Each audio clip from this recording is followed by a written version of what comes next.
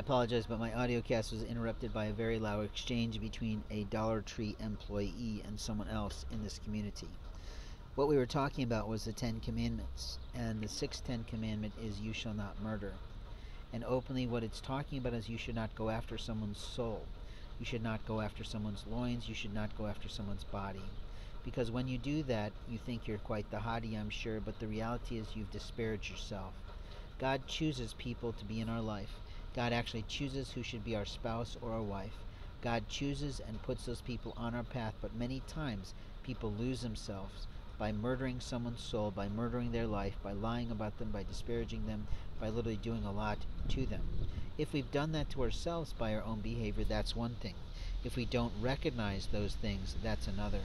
What I'm talking about is this concept of you shall not murder includes going after someone's soul, includes the constant insult that you are being told, includes when people simply disparage someone in response, really implying that the person is out of control, out of whack, out of sync, out of, well, what should be sold. And that's a lie that siblings often tell. It's a lie that friends often want to sell. It's a lie that colleagues often, well, foretell because your behavior precedes you. The seventh commandment is, You shall not commit adultery. Here's the reality most every human being on the face of the planet has committed some form of adultery. Young boys and girls fall in love with their teachers all the time. Is that not a form of adultery, or is that just a child fantasizing or literally learning what is beautiful to them? In the life of a man, though, we have the opportunities to say no. Last evening, I was being solicited by a girl who was barely clothed and I didn't like it because I am old fashioned, I am old school, and I was communicating clearly I'm not interested in what you have to sell right now. I have other things to do, I have other things on which my mind must dwell, and I don't want you in my life or in anywhere near me today. It's because she had met me the night before, but she put a play on that. And I didn't like what I saw, I didn't like what I felt, I didn't like the pressure to have to help. But I did help. But I don't want it to be presumed that we have a relationship now. I was a little bit besides myself because I had a lot of things on my mind and I was trying to focus on something that I was trying to create.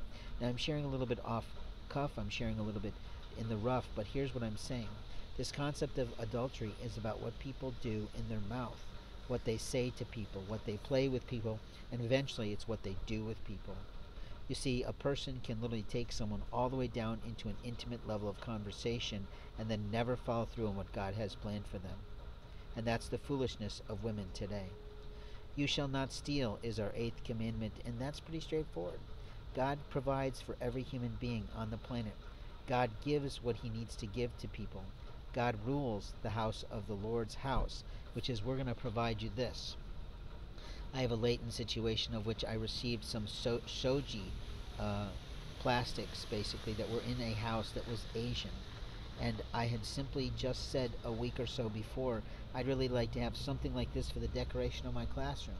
And lo and behold, I got a call a little later from someone who understood the value of proper decoration in a business and called and said, I found these for you. And you said, Great, how much are they?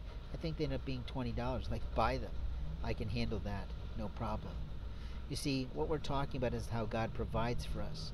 When a man is looking for a wife, he provides that information when he says, Lord, I'm not feeling this is working for me. I'm really wanting something else. And in walks the most important fortune of a man's life, but she's foolish doesn't get it. So we have to look at whether we're stealing people from other people. Are we stealing people through our mouths? Are we stealing people's time? Are we stealing a parent from a child who needs them? Are we stealing by our inappropriate gossip, our illegal talk, our foolish ideas, and our idiotic opinions? There are ways that people steal a lot of things they steal ideas, they steal friends, they steal colleagues, they steal business, they steal opportunities, they steal intellectual property, they steal copywritten work, and they certainly steal possessions. In the ninth commandment, you shall not bear false witness against your neighbor. This is a big one, a huge one. Bearing false witness is calling a police officer on something that you know nothing about.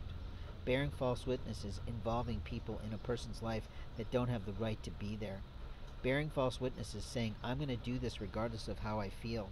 And bearing false witness is harming a life because of your inability to squeal. Now, when I make these silly little rhymes, I'm trying to get you to pay attention to your time. Because your time in life is only your time in life. But when you disparage someone's name, when you ruin their name, when you provide false information from your immaturity to talk and have a real life and a real relationship, that's on your life before God. The tenth commandment is, You shall not covet. People covet things all the time. It's a major problem in many different ethnic groups that they literally don't look at the person they're talking to. They look at their bags, they look at their clothes, they look at their property, they look at their cart, they look at what they purchase, and they do this on a regularity. It's immoral what they're doing because they're coveting what someone else has chosen to purchase with the leadership of God or whatever they believe is working in their minds to make those purchases, to provide themselves those possessions, to receive gifts, to put those lists out there at Christmas, whatever it might be. But coveting can also be the coveting of someone's other opportunities. And that coveting is what police officers do every single day. They take information about me and you, they take intellectual property, they take legal documents, they do all sorts of things. They take photographs of someone you love and then they pursue them to ruin that opportunity for you.